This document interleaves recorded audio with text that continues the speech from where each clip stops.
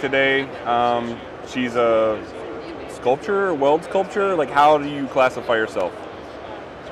It, that's complicated. I, would say that it, I'm a welding artist.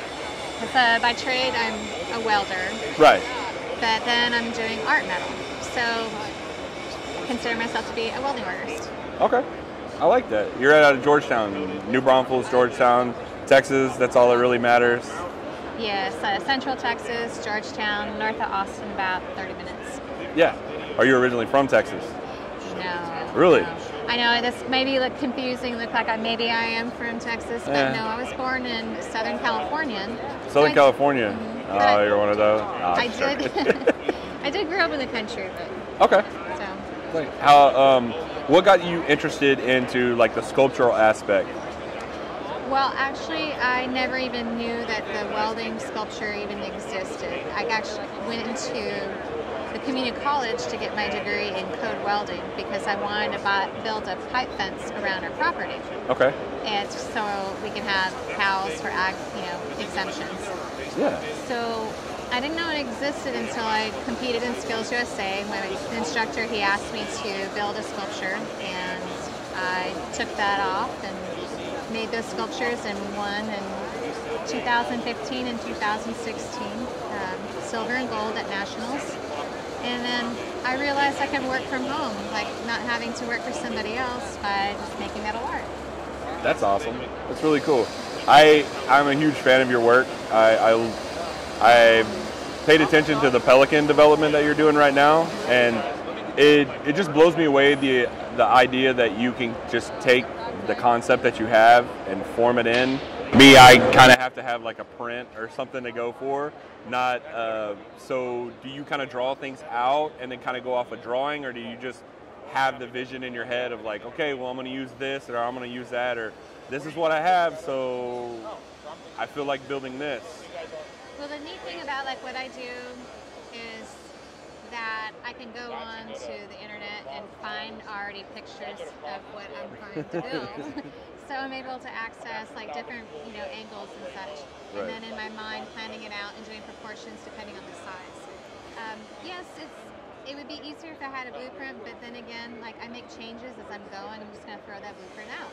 Okay, So. that makes sense. Kind of, do you kind of have a certain material in mind, or do you kind of? I know uh, Johnny well, Johnny S. Wells. He does the scrap art, so he kind of digs through scrap and kind of gets inspiration from there. Are you strictly scrap, or do you use scrap and then clean material? Like how? What medium do you like to work in? I typically just use clean material, but then when I'm doing my cuts and such, the drops, that I consider to be scrap and I'll use that. I just, I feel so uncomfortable using metal that I don't know the origin, where it was That makes used. sense.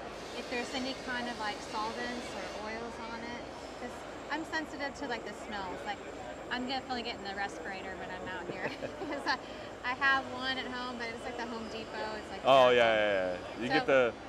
I know uh, Miller and Lincoln both have like the ones that fit under the Oh, welding hood. yeah, so the low profile yeah, ones, yeah, yeah, yeah. those are nice. be important, but no, I, I don't work too much with scrap. Um, but the new metal, I find it's easier. That makes sense. Yeah. I mean, you can kind of go from where you want to, and then you know how to weld it. You know, like your your true base metal, as opposed to being like, well, this is kind of steel. This is cast. Yeah, Why is it melting? Like, oh, okay, well, Yeah. wrong stuff. So yeah, exactly. kind of go from there. Cool. What um? So do you you do you said you do structural welding? Did you do you do structural welding as well? Because all I ever really see is you know just the artwork and Oh, stuff. well, that's because I only started posting things on uh, Instagram since 2019.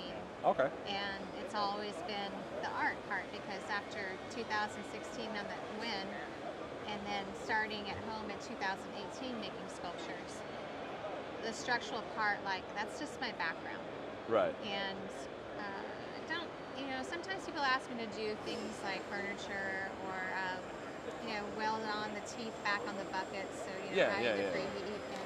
different you know tool steels but structural like I like that I have that background because I feel that I have more integrity in my welds That's true. when it comes to my sculptures because you just don't want it to fall apart like too often I see sculptures and they've got like just tack welds and they, maybe they just drop it and then stuff just starts breaking off. You know. That that to me that would be a bit embarrassing if you made something for somebody and you give it to them and then it just starts falling apart. Yes, and I it's can see. Yeah. Yeah, especially especially like a larger piece and then some of the detail parts start Yeah. deteriorating. So yeah. You're like, I'm sorry. You know, all sales are final. I remember last year you had one of your Stingrays in the Lincoln trailer. oh, still there. So it's still there. So, oh, Yeah. awesome. I have to make it over there and go see it again. Oh, so, I checked on it Oh, yeah. just to see if it had any flash rust on it. It looks perfect, just like the day that I, they received it. So That's always best. Like nobody's touching it, which is nice. when you revisit your work and it looks exactly the same, you're like, oh, okay, all right, I um, did it right. Relief. Yeah, I did it right the first time. it's always sad when somebody else messes it up or drops it or, you Oh, know, it's gonna leave heaven forbid. outside, Yeah, and it rusts. Yeah. by the oh, beach. it just looks beautiful out there. You're like, know, it wasn't made for all that. No, no. This, you know, the mild steel is going to rust, and I just have like um, clear lacquer, Okay. so as my my sealant. I like clear poly. That's been my go-to for Oh, okay. like metal sealants and stuff, especially the spray poly. Okay. Yeah. I haven't tried that. So, because it'll go on and have like a blue tint to it, but when it's dry, it's clear. So you can see where you're layering Yeah. it. That way you're not going over the same spot Exactly. over and over I kind of I run into that with clear again. Like, coat. like this? Yeah, like one spot's real thick, the other spot's real thin. You're kind of like, ooh, and you I see the it. runs. Yeah. Yeah. I missed a So- spot, and then you're like, why is it resting? Did I? I thought I sprayed it. So, how's FabTech been going for you so far? You know, FabTech is like the adult Disneyland for fabricators. Like, Yeah. Except there's no rides, but we just have tools to play with, and I think that is like so fun. Like you can walk up to a booth, like, hey, I want to, I want to run your machine, and then you get to play with it and, and adjust it. Um, get to try out the new products. Yeah. Uh, or you know, have questions on products that you already have and, and troubleshoot those issues, or get spare parts. Yeah, So, definitely. I've been fun. noticing a lot of stuff that I thought like, hey, this would be a cool tool to have, or this is a cool idea, and then you see it, you're like, well, I can't be the only person that has this idea for it, and you see that it already exists. You're like, oh, okay, cool, and then you know get to check it out, and that's that's been one of my favorite things. So A lot of really interesting people. Yeah, Um, of course, you know the welding community is always so interesting. We're, we're very animated. yeah, and, we have uh, our characters. yeah, my time is great. You know, we have you know fun after FabTech, so yeah. it's, a, it's a family, and I love it. Yeah, it's a, it's really cool just to kind of, you know, everything's basically our day to day life is this internet community, and then when you have the physical representation of that with everybody in one spot, it's, it's pretty interesting. Just meeting people you haven't really, you know, but you don't know. Yeah, So- and then the the high school students, I love seeing them coming in here because they've got this you know sparkle in their eyes Yes. because they're just fired up about the, the equipment and what they can do with it in their future in welding and fabrication. So it's, it's nice to see the young you know the young kids in here and. Of course, they see my work and they're like, "Oh my gosh, I'm a big fan." I'm like, "How do you do it?" And I'm like, "I don't know. I don't have a blueprint. I, I wish just I could hand, hand out stuff like tell you exactly how to do it, but You just got to do it. It's just really cool just to see the, as you know, you post your pro- your progressive steps Oh, like yeah. as you go on, and it's very similar in the weld art. Well, welding sculpture, the metal sculpturing stuff. Um, Kevin Stone. yes. That- oh gosh, he's I, amazing. I can't figure out how he starts and where he gets to where he goes on some He things. has, a, he has an auto body background, and so a lot of like Oh. the cold forming and shaping he does with the sheet metal, I, that like is his like extreme strong point. And then his structural welding on creating the frame to hold those all that weight of that metal. He does a great job. yeah, Yeah. seeing some of that stuff is just Amazing. yeah, exactly. It's like okay. Monumental. Yeah, it, it, Yeah. Truly it is. So, um, who? Let's try to think. What have you seen so far that has impressed you here? Like, what other than like, is there like one tool, like one thing that you're like, you got to go check it out? The ham sandwich, no. no, uh, That sounds good about now, but Well, Fireball Tool, I didn't see their booth this year. Is there somewhere? I don't think they're here. I haven't seen them. At, uh, CK's not here either. Yeah, there's a few Um, missing. Yeah, there's a few that are missing. I, I like Fireball Tool squares. So. Well, definitely, uh, I'm very impressed with the respirators because I'm interested in getting a respirator. Oh, so yeah. that's one thing. But the um, Safety's important. yes, and then like here, like Edge, I came by and they have a 23 cup for FabTech 23, and I was like, ooh, Yeah. it's so. It's, you Did you know- get one of the shot glasses? No, they have a shot glass. Yes, here? I'll get you Oh. taken care of. Oh Don't worry about it. That's that's hilarious. Multi-purpose. Yeah. Can you sew well with it? no, it's just that it's a sealed bottom cup. So. Oh, okay. All right. Um, what projects do you got that you're working on for the future? What do you got coming up? oh gosh, I have a. a Anything you want to talk about? You don't have to. You can tease it. You don't have to give it all away. Okay. So. Well, I've, just to say, I've got a two-year wait list Okay. on sculptures, and right now I'm working on a, a pelican, and he's going to be super cute.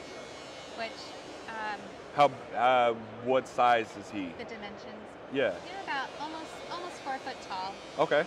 So right before coming to FabTech, I had I had the head, it's about 15 pounds, and then the feet, you know, big, you know, big fat Yeah, yeah, yeah. flat pelican feet. Those are also pretty heavy.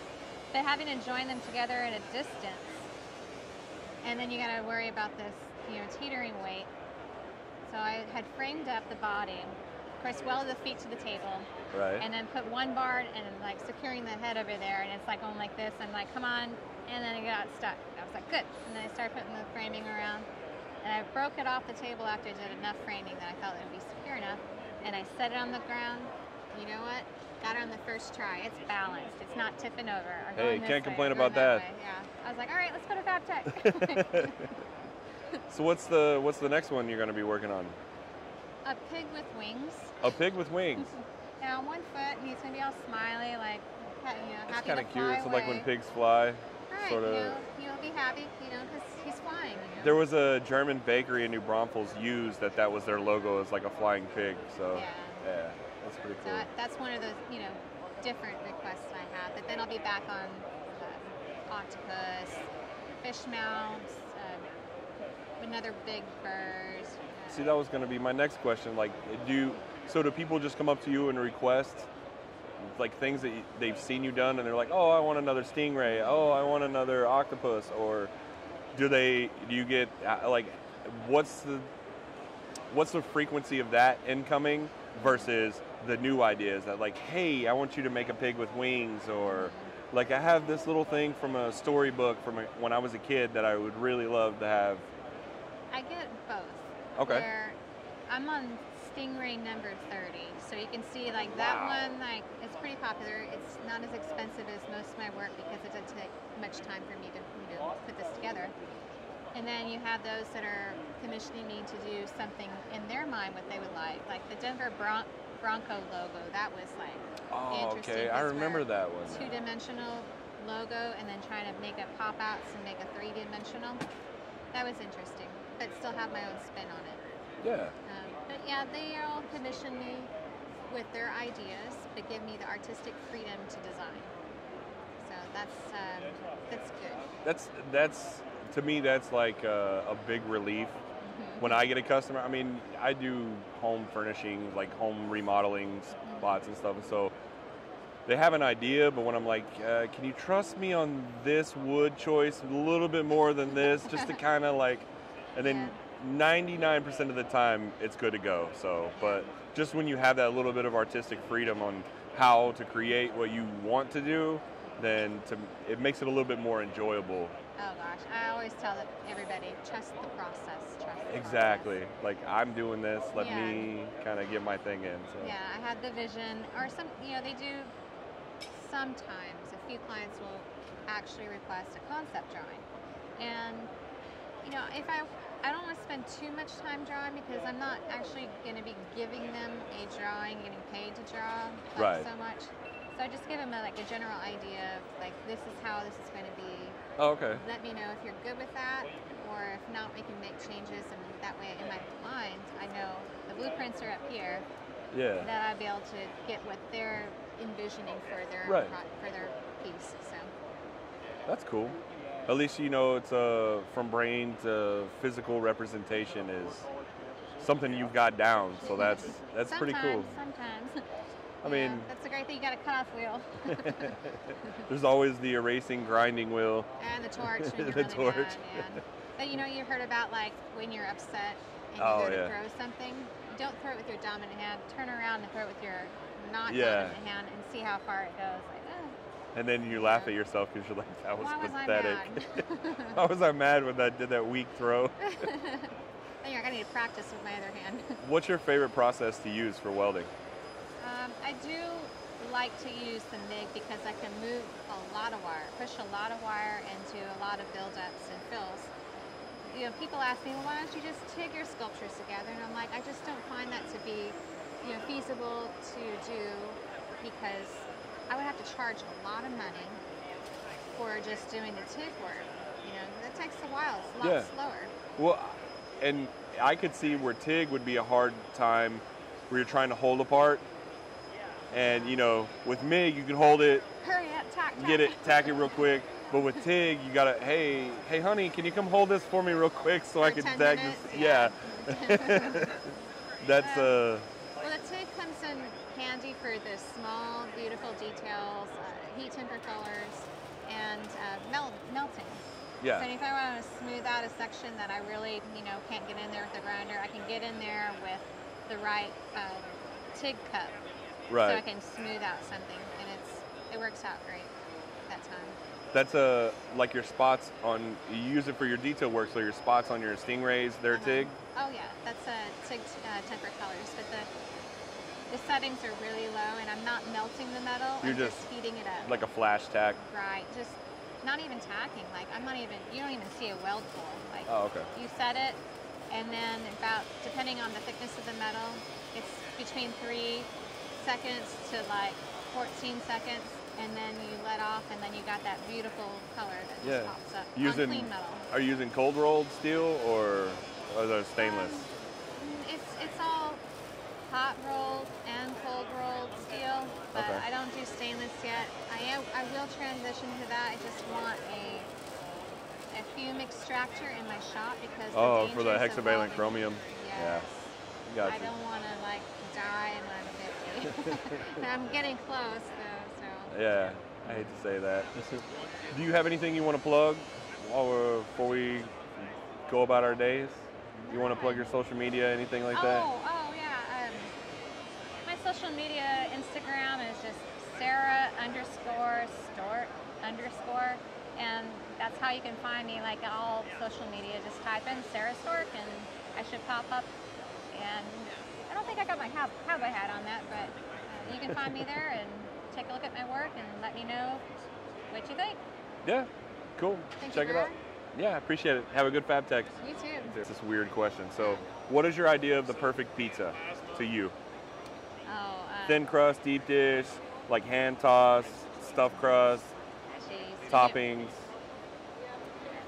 I used to always be a hand toss, but when I came up to Chicago last night, I had the most amazing deep dish pizza. I've never had it where the sauce was on top. Yeah. And I fell in love. I was like, my God, I've been missing out all these years on a deep dish Chicago style pizza. So, yeah, I'm enjoying the pepperoni, mushroom, cheese, and I guess that's it. Yeah. pepper, No peppers, no olives, no vegetables, no onions, Well, no I nothing like like that in my salad. Oh, okay. I got you. I got Yeah, you. So you have all the other vegetables before, and then you have your yeah, stick with the protein. Okay, fair enough. Yeah. Awesome. All right. Pizza.